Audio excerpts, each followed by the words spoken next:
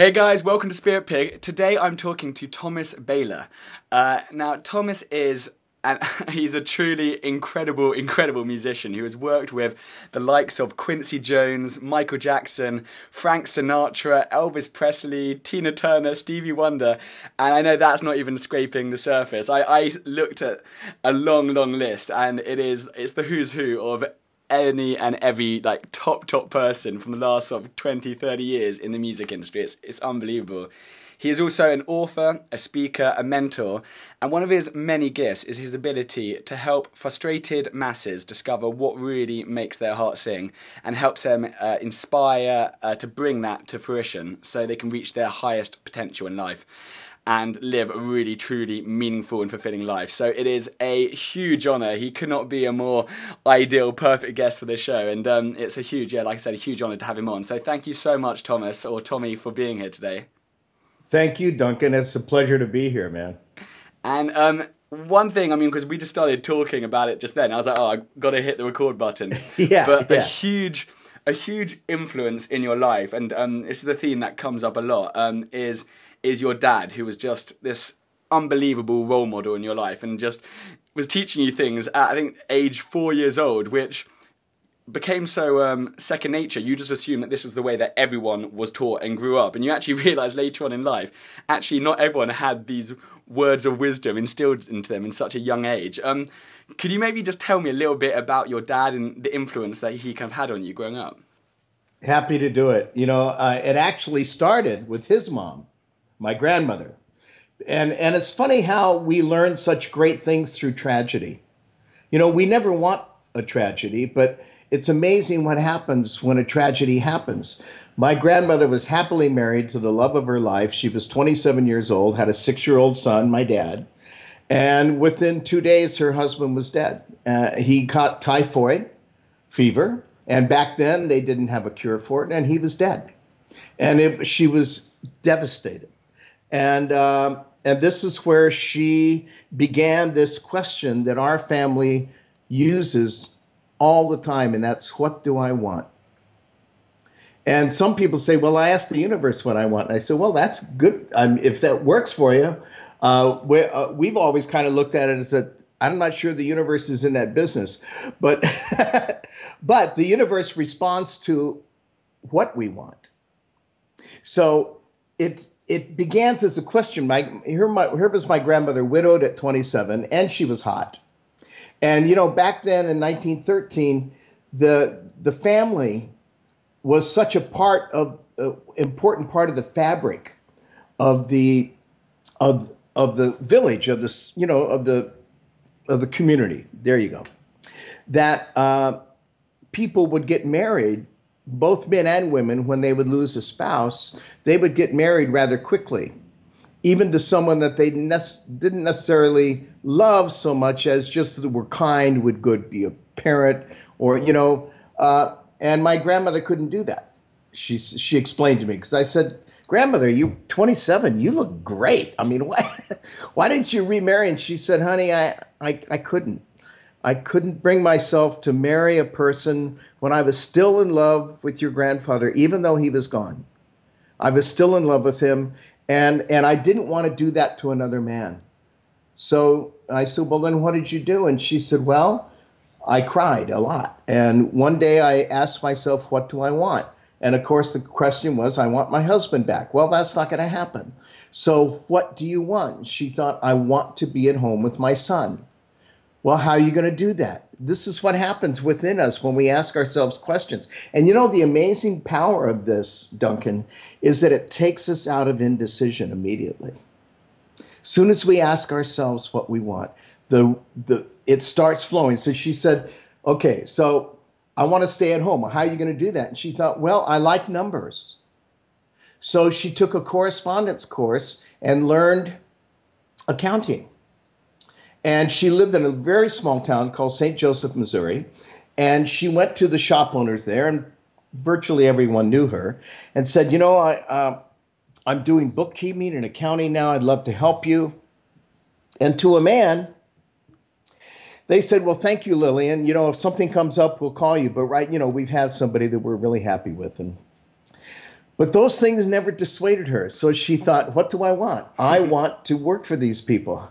How are you going to do that? Well, you know what? I'm going to talk to their wives. So she talked to the wives of the.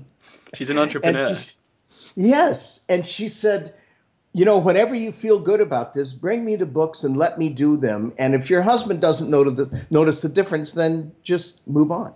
Well, she ended up working at home. My dad didn't even know she had a job because she worked after he went to bed. So this is a woman in 1913 just took it by the horns and said, "This is what I want." And and so this became the philosophy. She also the name of my novel, you know, is called Anything is Possible, and that also came from her because she absolutely believed that anything is possible. So and she instilled this in my father. Uh, and and sometimes I wonder because my dad was such a sage, all the neighborhood kids came to him, you know. and and he would uh, first of all, my father never told me what to do, not once in my life. I was raised with questions and suggestions.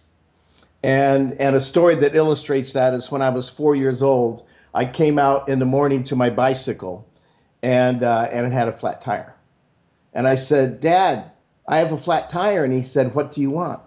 And I thought I annoyed him. You know, I said, I'm sorry. And so he gets down on his haunches. So he's looking right into my eyes. He said, Son, listen to my words. What do you want? And I said, Um, I want my tire to be. I don't want my tire. I want to. I want to. I don't want my tire to be flat. And he said, Great. what are you going to do about it? I said, I don't know. And he said, But if you did know, which was Dad's code for use your power of observation. So I look at the tire, which is flopping off the rim. And I said, Well, I guess that tire has to come off the rim. He said, Great. How are you going to do that? So I look question. at the wheel. exactly. I, I, look at the wheel. Wheel is, is connected to the bike by two nuts, you know. I said, I guess those nuts have to come off. He said, Great, I'll get you a wrench. So he's totally present, right? So he comes back and he says, Son, you're four, so I'm going to loosen them for you. So as soon as they were loose enough for me to manipulate, she, he just stood there and smiled. And so I started taking the nuts off and I said, Oh, Dad, there's so many parts here. I don't know how I'm going to keep track of them. And he said, Well, I have a suggestion. You're about two feet away from a wall. You know what I would do? I would take those nuts off and put them next to the wall. And then the next parts, which would probably be the washers, I'll put them next to the nuts, but toward me. And just keep doing that until I get, ran out of parts to take off. And then when I want to put it back together, I'll start with the parts closest to me and work my way back to the wall. Four years old, and I did it. And you know, can you imagine how good I felt about myself? Mm. And it wasn't a wow, wow. You know, it was just like I felt being raised by my father and my mother, but my father particularly in this area I just felt that I was okay. What a wonderful feeling that is. I didn't feel less than, I didn't feel more than. I just felt okay. And I also felt because I got into that habit of asking questions. And, and when I had a tragedy, I was a trumpet player and quite a good one. And, and there was a reason for this because dad was a trumpet player, was self taught, then went to Juilliard and played in the studios. And so when I grew up, dad was playing at home and I would look at his eyes when he was playing, and he had this look of rapture, and I wanted some of that, you know. So I started playing trumpet when I was five. And when I said, Dad, I want to play trumpet, and he said, Well, I think that's wonderful. He says, You know, with every opportunity comes an equal responsibility. So he would just drop those things on me, and I'm going like, What does that mean? he said, Well, I, I believe you should practice every day. I said, Okay, how long? And he said, oh, you're five, let's say 10 minutes. Okay, I did it, you know? So that was just kind of the way it was. It was an exchange of ideas and thoughts. It was never like do this, do that, and and uh, so anyway, I became. Uh, and Dad used to say, he said, "Son, I'm not your trumpet teacher. I'm your father, but I will get you a great trumpet teacher." And then he would help sort of explain if he would hear me struggling through something. He said, uh, "My trumpet teacher when I was a kid was named Pop." Pop Flower. And dad used to say, uh, if he heard me struggling, he said, Do you remember when Pop said so and so and so and so? He says, Maybe if you try that. And I go, Oh, yeah, thank you. So he sort of coached me, you know? So anyway, uh, flash, you know, fast forward to I'm going into college, and and I've been studying all these years since I was five, and and I'm a pretty terrific trumpet player just by the fact that I've done it so long and had great good teachers. And when I got to SC, or I was uh, I was getting ready actually to do my senior recital. And when I played my trumpet, I liked to play classical music. So I was auditioning for the symphonies. And when I played my flugelhorn, I played jazz. So, you know, we had a lot of fun in our family musically. and, uh, and one day I'm at the library with my girlfriend, and I get up to walk away, and I can't walk. I was like paralyzed. And I had this pain in my heart, and I thought I was having a heart attack. Now I'm 22 years old and never had a problem in my life. Well, she helped me get to the car. I called my doctor and said, and it was on a Sunday, you know, but it was a, I said, I, I, think I'm having a heart attack. And he said, Well, I sort of doubt that, but you better get to the hospital. So he met me down there. The, what I had was a perforated ulcer, and I was leaking fluid into my body cavity. And they said, We need to operate now or you're going to die. God. So they did. And they cut me down the middle. And when I survived, obviously. And but when the doctor came back in a few days later, he said, "You know, your stomach is muscle bound. What sports do you play?" And I said, "Well, I play some intramural sports, but I'm a trumpet player. I play four or five hours a day." And he said, "Well, you're not going to play for at least two years." And I was crestfallen. Everything that I had worked toward was gone. And the thing was that I was doing so well. So it wasn't a struggle. I was just doing it. And so my family gathered around me and I cried the blues. It was a pity party for at least a week and a half, two weeks. And dad listened. He just listened and listened. Finally, he said, Son, I understand how bad you feel and I can understand why you would feel this way. But, eh, but everything you're saying is disempowering, is what I hear. I think it's time for you to ask a question that empowers you. And I'm like, oh, Dad, oh, for God's sake, I can't, th- I can't think of anything to ask that's empowering right now. Sorry. And he says, well, I have one that I would ask myself if I were in your shoes. And I said, what is it? And he said, am all I am is a trumpet player.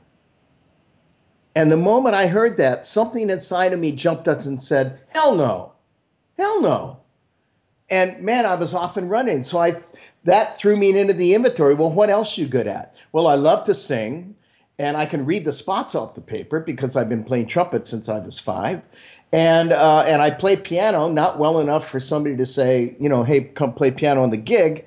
And also, I didn't. I wasn't the kind of singer that somebody would say, "I'd love to hear Tommy sing that," you know.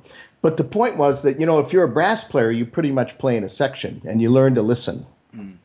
In fact, I remember when I first started playing in a section, my dad pulled me to the side and he said, Son, you know what I found out when I was about your age? I found out that when I'm playing in a section, if I can hear myself, I'm playing too loud. So I had all of these tools. So I auditioned. My brother said, Hey, I just read in the Variety that they're looking for a singer on the Smothers Brothers show, which was the number one show on television. It was the Smothers Brothers Comedy Hour. And these guys were on top of the world. And they were also giving the censors fits. So, you know, for a 22 year old kid, it's like, yeah, man, I want to be a part of that. you know? So I auditioned for the show and I got the show. So for four, four months from the time I was totally devastated, wondering what I was going to do with the rest of my life, and just completely on a bummer, I was singing on the top show in television. And then I used that question again because here I was on the show and I came in mid season because uh, one of the singers had moved on. I came in mid season, so most of the people didn't know me on the show. And it's my first real singing gig. So I'm watching the singers to see what they do because we were there Monday through Friday, but we only worked about 30% of the time. And the other time, you know, they would use us in blocking, they would use us as bodies and extras. And it was all fun, you know, but a lot of time we sat around and I looked so I thought, well, what did the other singers do? And a lot of them read, some of them knitted, some of them played cards, some of them played chess, checkers. And I thought, well, those are all good things, but I'm at freaking CBS. I'm at the greatest network in the world. I want to know more. And as soon as I said, I want to know more, the question came, what are you going to do about it? And I thought, well, I'm going to start at the top. Why not? So I knocked on the director's door. Stan Harris was his name. And he says, Come in. I said, Hi, I'm Tommy Bahler. Uh, this is only my second week on the show. I don't know if you know me. He says, Yeah, I know who you are. What can I do for you? And I said, Well, you know, I find myself sitting around a lot. And I mean, this is CBS. And I just wondered if I was unobtrusive and quiet, would it be okay with you if I followed you around while you direct the show?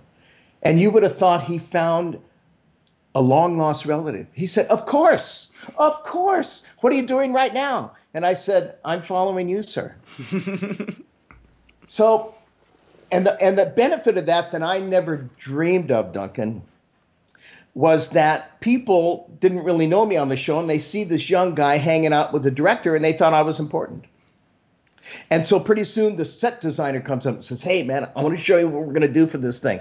The, the makeup department come in and say, Hey, you know that that pirate number we're going to do. Look at what we're doing. So everybody shared, and I learned how to produce a show just by asking myself a question: What do I want? Unbelievable. I love so, that. Sorry, I was, just, just going to say when you said when you went up and knocked on their door, I was immediately thinking I can see the link between your grandma, as in that ballsy, going up straight after what you want. You know, going over to you know the friends' wives, you going up knocking on the door. I can see I can see the family tie. Absolutely. And you know, uh, at first, when I first thought of it, I thought, well, he doesn't want to, he's not going to want to deal with me. Mm. You know, who am I? I'm a, and then I realized that that is a lie. It's as much of a lie as saying, you know what? He'll be glad to see me, which he was.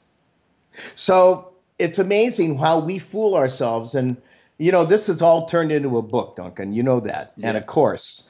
And I didn't set out to do this. I, I did become an author a few years ago when I uh, Aesop has been in my life all my life. I'm glad because I was gonna I was gonna bring Aesop up because this was this yes. this was this was something I'd love to tell yeah ask you about. So yeah, go for it. it's it, it's the key. Uh, uh, when Dad played in the studios after the war, he decided he no longer wanted to play trumpet for a job. He said, I love it too much. I kind of feel like a high class hooker. So he said, but I want to be in the music business. So he and my grandfather, uh, a jukebox route came up on for sale, and he, they bought it and then grew it into 54 different places.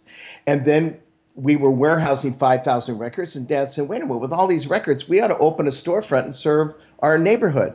So we had Fifth Avenue Music, which is a little different in Inglewood than it is in New York, but it was Fifth Avenue Music. And and the wonderful thing for two kids, my brother and I growing up, is that we would give dad a list of records we wanted, and he brought them gladly because when we were through with them, they put them into jukeboxes. So there was no waste. And he sent home this beautiful uh, Warner Brothers after the war came out with a series. In fact, they still do it. Now it's on CD and things, but uh, it was they're called reader records, and they're classic stories told by the Looney Tunes characters. You know, Bugs Bunny, Elmer Fudd, Daffy yeah. Duck, and uh, and the first one that Dad sent home was Bugs Bunny and the Tortoise, which is the hare and the tortoise. Well, Bugs is a star, and even though he fell asleep, like the classic story, he won by an ear, and the tortoise was kind of a jerk. So, but I was completely enthralled with this story, and I'm three years old. Dad comes home, and I said, Dad, thank you for this. I love this record book. I mean, it's just the best, and I love the story. And he said, Well, I'm so glad you like it, son. You know, he said, It's, it's not a new story. I said, It's not? And he said, No, that story is at least 2,500 years old. And I said, Oh, come on, Bugs isn't 2,500 years old. And he said, You're right, Bugs isn't, but the story is. And he said, it, As a matter of fact, son, in the original story, the tortoise won. I'm like, how did he do that? And he said, well, you know, I'm going to grab a book and bring it home. So we started reading Aesop's fables. And in those fables, maybe it was the third week or something, we've gone through 10 or 15 fables. And he said, you know, son, this is the most quoted author in the world, in the history of mankind. And he says, I think I know one of the reasons he is. And I said, what's that? And he said, well, in every story we read, we discover the meaning and we own it. It belongs to us. He didn't tell us. We discovered it. And he said, I just realized that I have yet to forget anything I've discovered. I've easily forgotten half of what I learned. At least. so, aren't these wonderful gems to live by? Yeah. And the thing is that they were so embedded in me, Duncan, that I lived them, but they weren't in my consciousness. But when I wrote my book, now my book started out to be a musical because I'm a composer. But Aesop's story came to me. And, you know, the other way that I was raised is my father used to say, son, when a thought comes to you that sticks, because we have a thousand thoughts a day, but he said, when it's so, an idea sticks, he said, it's my belief that that dream picked you. And it picked you because you're the guy to bring it to the world, because an idea without a human remains an idea hmm. in this realm. But when he said, take a look around you, son, everything that isn't absolutely nature began with an idea and somebody believed it was possible. I saw a, I saw a, um, a post that you put on Facebook um, the other day that said, um, "Whatever comes to us needs us, wants us, and has picked us." Is that tied yes. in with what you were saying? I love that. Absolutely. All of these posts that we're putting up on my on my Facebook site are little gems of these things that that I grew up with, you know. And again, they I would spout them every now and then, and my dad would say them, you know, until he passed. But um, but they weren't really in my consciousness as a formula. Uh, but so when I when I wrote Aesop as a musical, um, the story was long enough. I mean, it would have been it would have lasted longer than Ring of the Nibelung. I mean, it was you know it was bigger longer than four operas, and so and I and I the story I took dictations with the story, just like the songs I write. When I write songs, I I write what I hear. Again, this was the training. My dad said, if, some, if a thought comes to you, son, it has value. If it comes to you more than once, it has more value. If it comes to you more than twice, write it down.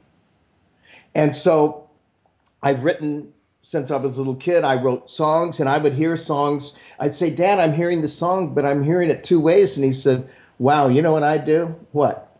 I'd use both of them. Yeah, why not? I don't have to make a choice.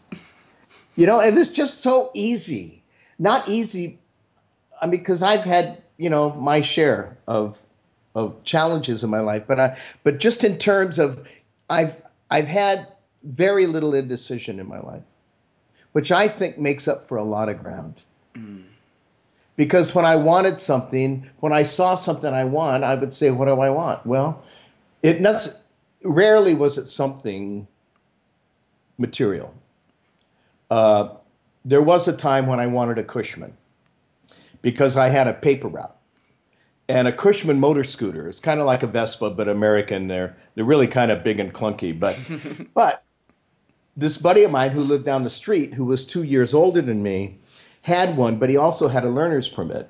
So I said, Dad, Jerry, I my routes. Uh, Jerry has a bigger route than mine, and he gets home an hour before I do. If I had a Cushman, I could deliver my paper, serve my customers better. And he says, you know, I think that's a wonderful thing. But he said, you know, there is a law in this city that you need to be 15 and a half to ride a scooter.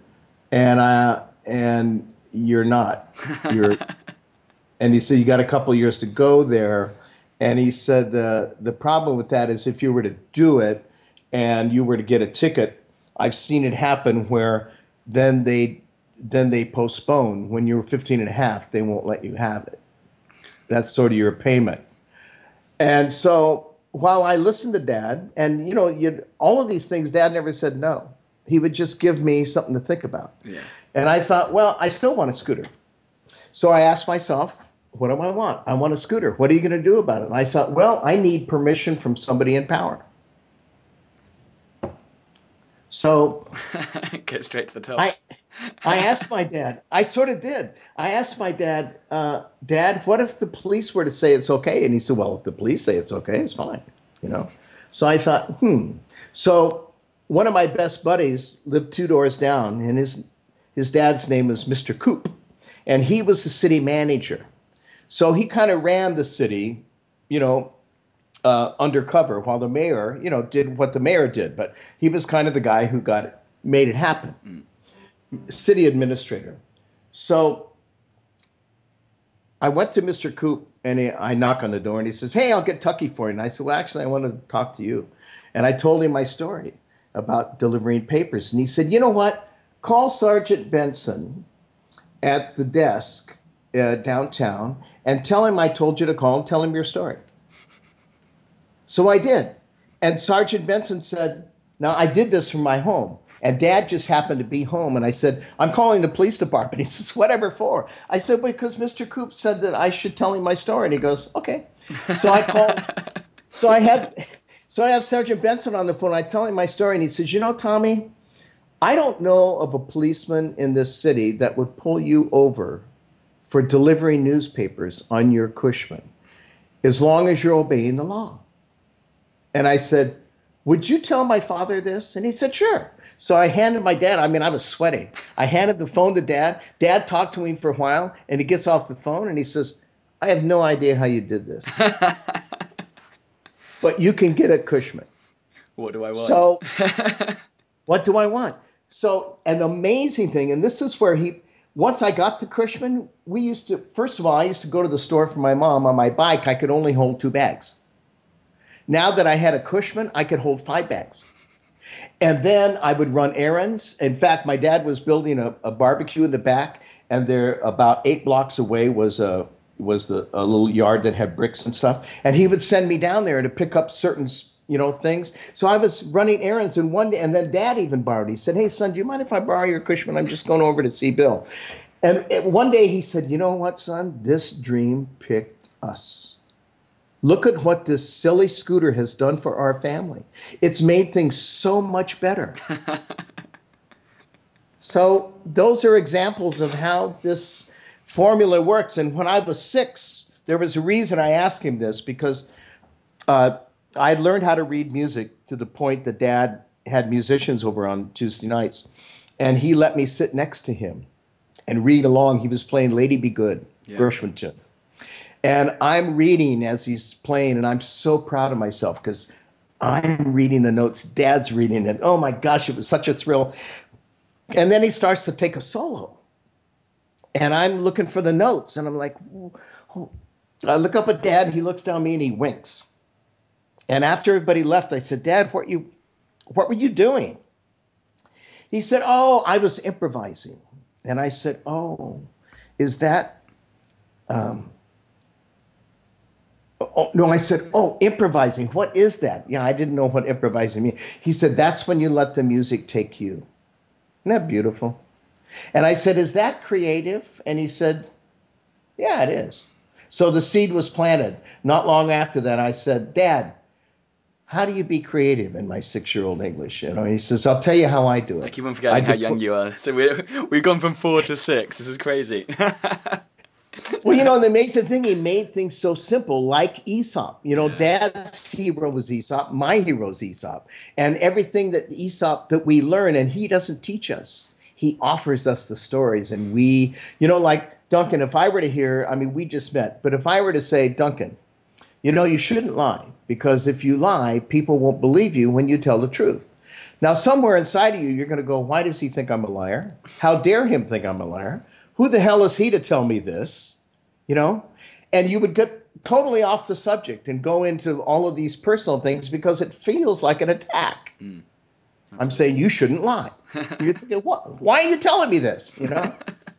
but if I were to tell you the story of the boy who cried wolf, and he's out watching the sheep and he's very lonely, and he calls wolf, and when the people come out, he has got what he wanted he got company. And they said, Where's the wolf? And he said, Well, he ran off. Well, they believed him.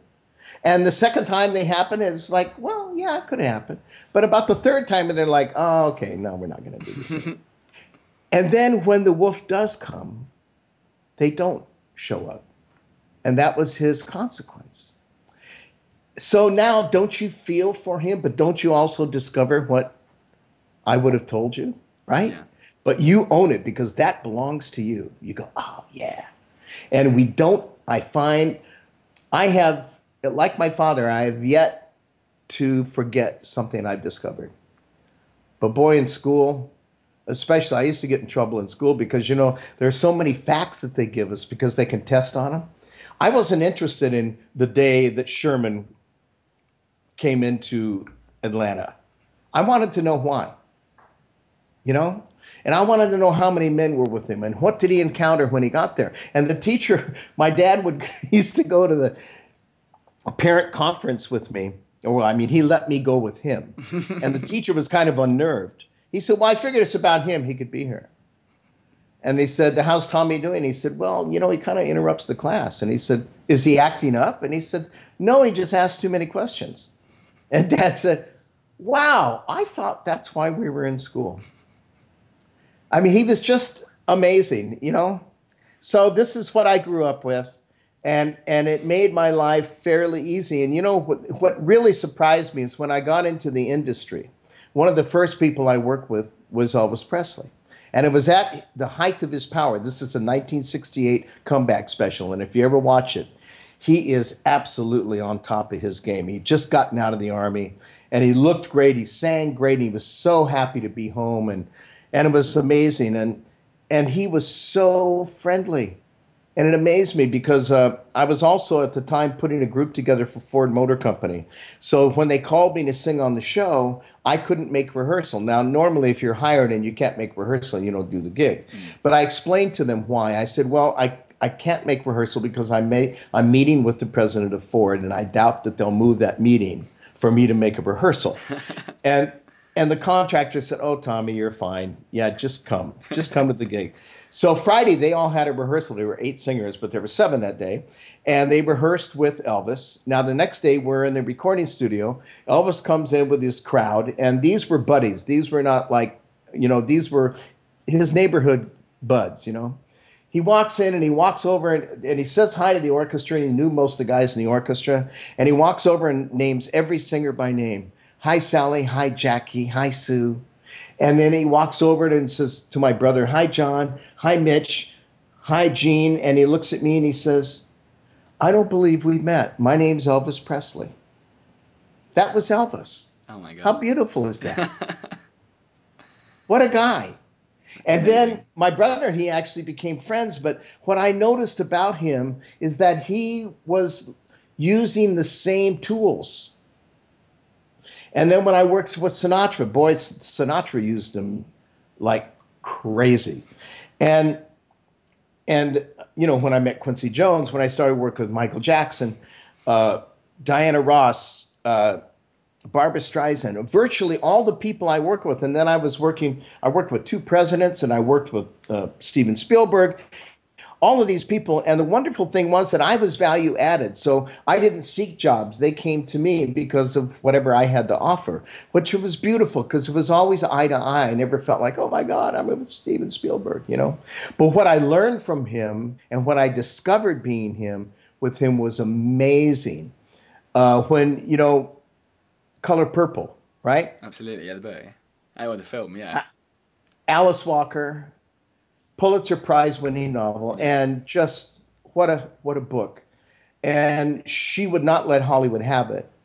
And Guber and Peters were the biggest producers at that time, and they wanted it. And they visited her, and she said, "Well, no, I don't want to do a Hollywood movie about my book. It just doesn't feel right." And then some of her confidants said, "But you know what? If you got Quincy Jones involved, uh, I bet he'd keep the integrity." So they mentioned that to Guber Peters. Guber Peters called Quincy. now, Quincy did a what do I want really quickly because they said, hey, Q, we want to make you executive producer of this film. And, you know, you can, and, and he says, I have a better idea. He said, I'll produce the film and you be executive producers. And they said, but you've never produced before. And he said, that's all right, I have you. And he got it. And then he started making lists. I spent so many years with Quincy since 1973, you know.